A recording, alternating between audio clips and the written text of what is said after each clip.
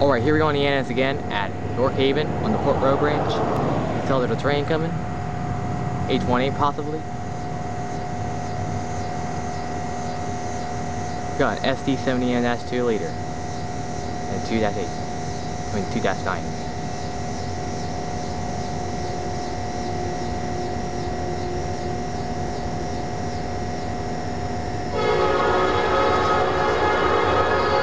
Nathan P5, yo. Best one ever.